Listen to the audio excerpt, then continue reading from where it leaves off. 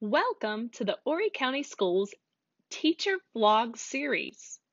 In this series, we will be spotlighting the work of some of our amazing teachers, and they will be sharing and reflecting on various lessons, tech tools, and teaching strategies.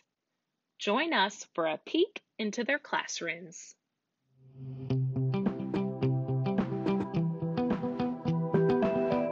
Hi there and welcome to my video, Teaching is a Work of Heart.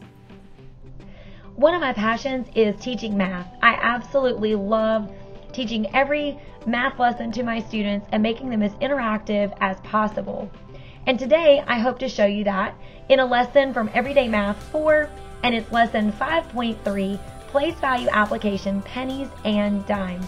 So let's jump right in. So here is my Nearpod lesson for Everyday Math 4, Lesson 5.3, Place Value Application, Pennies and Dimes.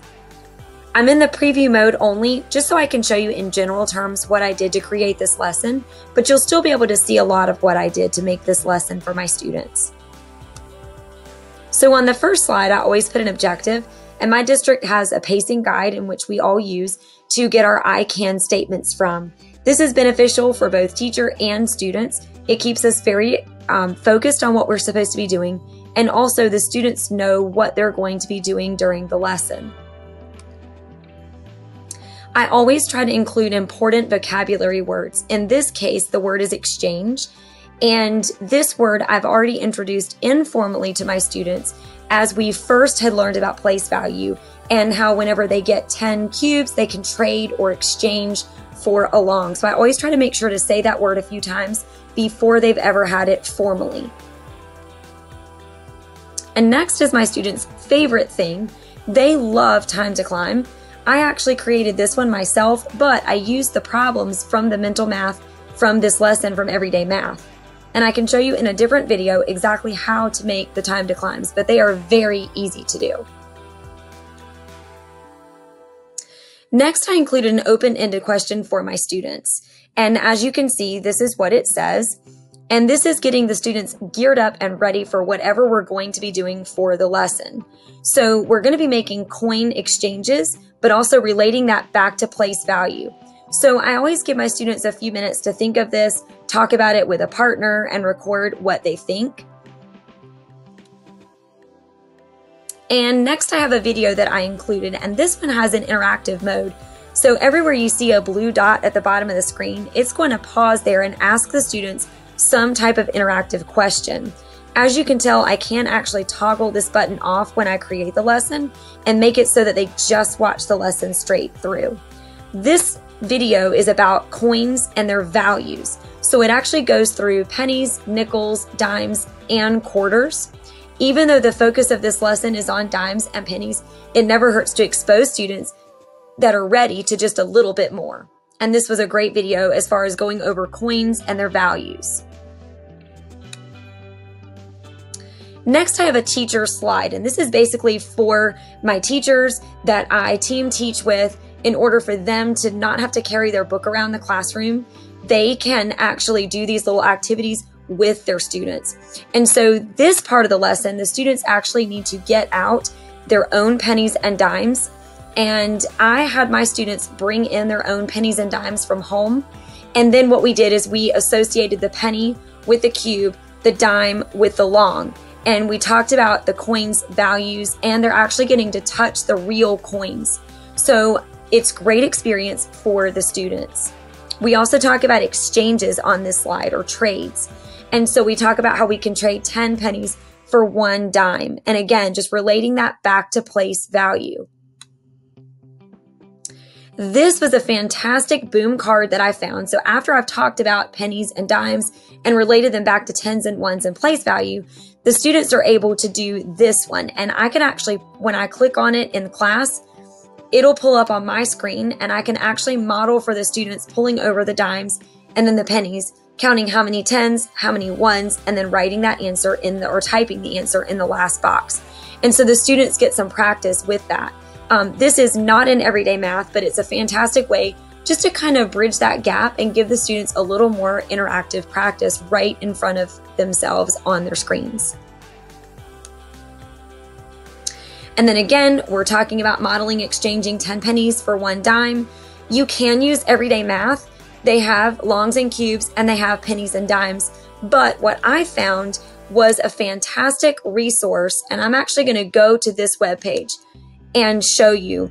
This is by the Math Learning Center, and it's actually considered an app, but it will work on your computer and it will also work on student devices. So instead of having the students having to get out of Nearpod and go into everyday math, the students can just stay in this one streamlined lesson. And then as you can see, I'm working with dimes and pennies. And I just make sure to reiterate that with my students that we're working only with dimes and pennies today. And then if you were to tell the students to bring over nine pennies, they can actually bring over nine pennies, which are also on the cubes. and they can even just touch them and it'll bring them over. So, as my students and I, we kind of played around with this the day that I used it in class, and we learned lots of really cool things about the program. So, there's my nine pennies, and then let's say that I ask the students to bring over one dime. And then, as you can see, as it brings the dime over, the dime is attached to a long. So, the students can very quickly see that connection between dimes and longs and pennies and cubes.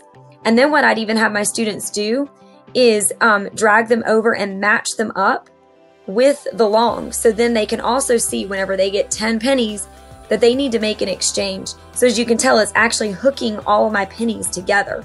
So it's really easy, even though I don't have the place value mat, it's still easy for the students to be able to see when they can make exchanges. So if we kept dragging these over, and again, as long as I get them close, it's going to drag them right over. And I must have pulled 10 by accident, but happy mistake for me because now you can clearly see that 10 pennies equals a dime or a long. And so we can make an exchange or a trade. So this was a fantastic resource that really enhanced my lesson. You could absolutely, because there's a few lessons later where it gets into the trading the um, dimes, 10 dimes for $1. And you can clearly see the dollars are on the flats as well. There were lots of other really neat tools down here at the bottom if you look.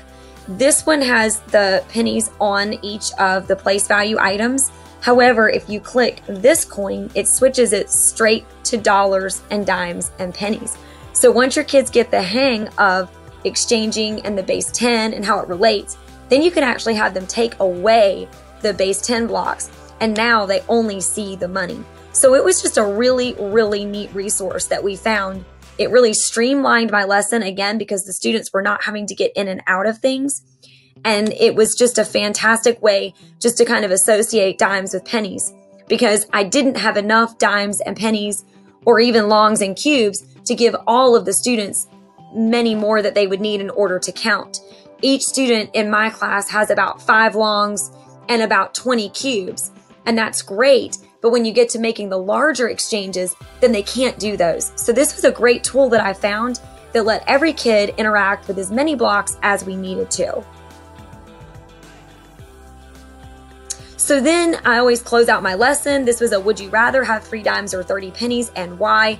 And the students, it's a collaborate board so they can actually type right here. And I've even taught my students how to image search so they can even hunt for images um, using Google and put those in there. They can also, because they're on their iPads, use different emojis. So the students would be able to explain what they liked and why, or what they thought was better and why. And then, of course, um, we discussed the answers on the Collaborate board, and then we went on to do our journal pages.